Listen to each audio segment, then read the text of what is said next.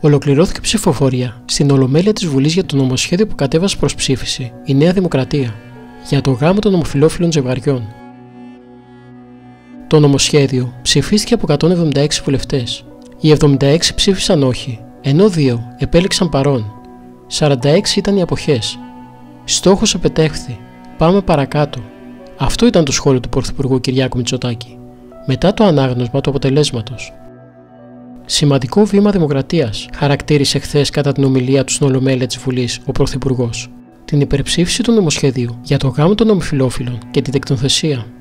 Σημειώνοντας ότι η κοινωνία διαθέτει πολύ μεγαλύτερη ουρημότητα, πολύ μεγαλύτερη νυφαλιότητα από αρκετά κόμματα και αρκετούς πολιτικούς.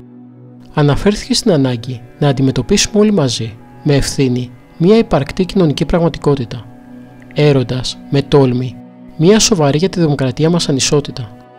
Στο πλαίσιο αυτό, τόνισε ειδικότερα να προστατεύσουμε αυτονόητα δικαιώματα παιδιών με την ασπίδα των γονιών τους και με μια αναγκαία προσθήκη στο οικογενειακό δίκαιο να αποδώσουμε επιτέλους δικαιοσύνη και στην καθημερινότητα συμπολιτών μας του ίδιου φίλου.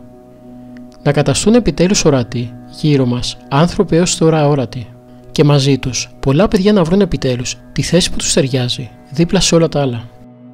Στη συνέχεια, αφού επανέλαβε πως η συγκεκριμένη μεταρρύθμιση είναι και χρήσιμη αλλά και αναγκαία, αναφερόμενος στις αντιδράσεις από πλευράς της ιεραρχίας, μεταξύ άλλων υπογράμμισε. Ο θρησκευτικός γάμος αποτελεί θρησκευτικό μυστήριο και αποκλειστική υπόθεση της Εκκλησίας, τι θέσει της οποίας η πολιτεία ασφαλώς και σέβεται, με βάση όμως πάντα τους διακριτούς ρόλους των δύο θεσμών. Το κράτος οφείλει να προχωρεί και στις δικές του ενέργειες, με πηξίδα ισότητα απέναντι στον νόμο τα του Κέσαρου στο Κέσαρι και τα του Θεού το Θεό, ή για να το πω λαϊκά, ή παπάς παπάς ή ζευγάς ζευγάς. Με την Εκκλησία και σε άλλες περιπτώσεις είχαμε διαφορετικές οπτικές, για εξελίξεις και τομές σημαντικές που αποδείχθηκε πως τελικά δεν διατάραξαν την κοινωνική συνοχή, ούτε τις σχέσεις μας με την Εκκλησία. Το ίδιο θα συμβεί και τώρα.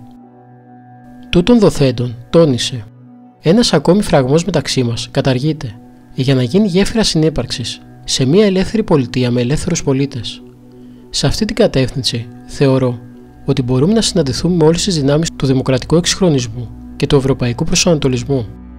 Αμέσως μετά την ψήφιση του νομοσχεδίου για τους γάμους και την τεκνοθεσία των ομοφυλόφιλων ζευγαριών, ο Πρωθυπουργός έκανε την πρώτη του ανάρτηση λέγοντας: Η Ελλάδα έγινε η 16η χώρα της Ευρωπαϊκής Ένωσης και η πρώτη Ορθόδοξη, στην οποία αναγνωρίζεται η ισότητα στον πολιτικό γάμο και την τεκνοθεσία. Είμαστε περήφανοι γιατί το νομοσχέδιο που ψηφίσαμε αποτελεί ορόσημο για τα ανθρώπινα δικαιώματα και αντικατοπτρίζει τη σημερινή Ελλάδα, μια προοδευτική, δημοκρατική χώρα προσιλωμένη σε ευρωπαϊκές αξίες. Να αναφερθεί επίσης ότι περιμένουμε την τελική αντίδραση της Εκκλησίας, αφού η ψηφοφορία ήταν ονομαστική και έχουν στη διάθεσή τους τα ονόματα των βουλευτών.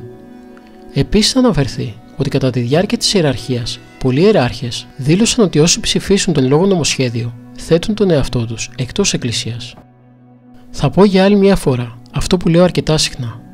Ο Θεός να βάλει το χέρι Του, γιατί εμείς βάλαμε τα δικά μας και βγάλαμε τα μάτια μας.